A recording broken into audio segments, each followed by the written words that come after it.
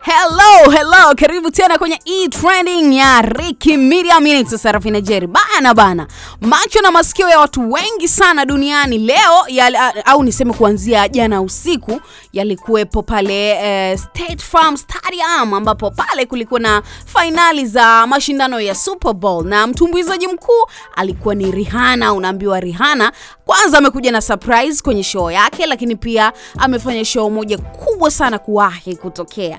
Mimi nataka nikupitishe tu kwenye zile ngoma ambazo zimewasisimua watu wengi mara baada ya Rihanna kusikika akizimba kwenye jukwaa la Super Bowl mwaka 2023. Sasa mapokezi ya Rihanna pale kwenye fainali za Super Bowl yalikuwa mazuri kweli kweli, na alipokelewa kwa shangwe kubwa sana mara baada ya sauti yake kusikika akiimba wimbo wake wa B Better Have My Money. Kuna, kuna neno analitumia hapo ila sio zuri kwenda nalo, lakini hii ni ngoma ambayo aliachia mwaka elfu mbili na kumi na tano na kwenye jukwaa la fainali za Super Bowl mwaka elfu mbili na ishirini na tatu ameperform ngoma hiyo. What a night to be alive baby.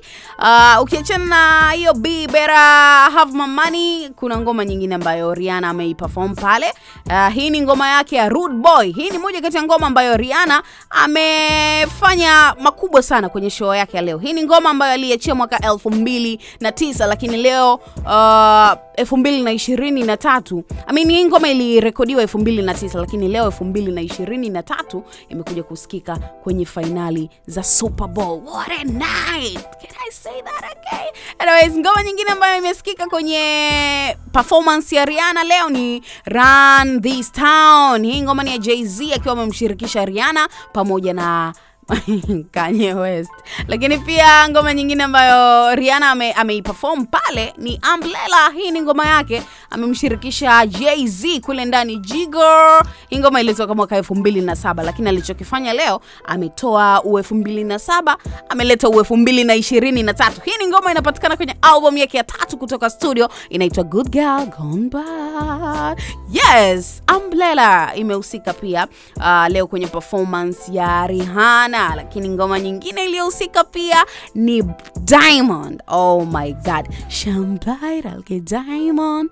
Okay, I know sijui kuimba kama riana lakini hii ni ngoma ambayo pia imefanya mazuri na makubwa kwenye uh, jukwaa la Super Bowl kwa mwaka 223 mi nilikuwa napenda sana uh, jinsi gani uh, NFL walikuwa wanaenda live wana, nimestream live pale ndugu yangu Uh, nimeangalia kila kitu kilichokuwa kinafanyika pale, nimependa. Unajua, unaweza ukawa hauko interested na, na, na mpira ukaangalia uh, mpira ambao wao wana, wanacheza hiyo sijui ni rugby ukaangalia performance ya Rihanna. Nimeona uh, ASAP Rock alikuwa pale kwa ajili ya kumsupport baby mama wake. Wewe, ilikuwa bonge moja la show. So kama umeitazama show, natamani kujua ni kitu gani ambacho umekipenda kwenye show ya Rihanna, ikiwa ni after a very very very long time. Yes, mini Serafina Jerry. Yes, mini Bintu Jerry. Bye.